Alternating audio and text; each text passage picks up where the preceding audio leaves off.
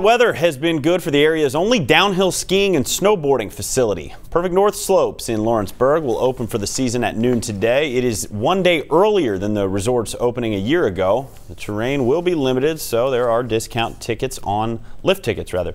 Uh, more areas will open as the folks at Perfect North are able to make a little more snow. They've had more than a week to do it so far, but there is no opening day yet set for tubing.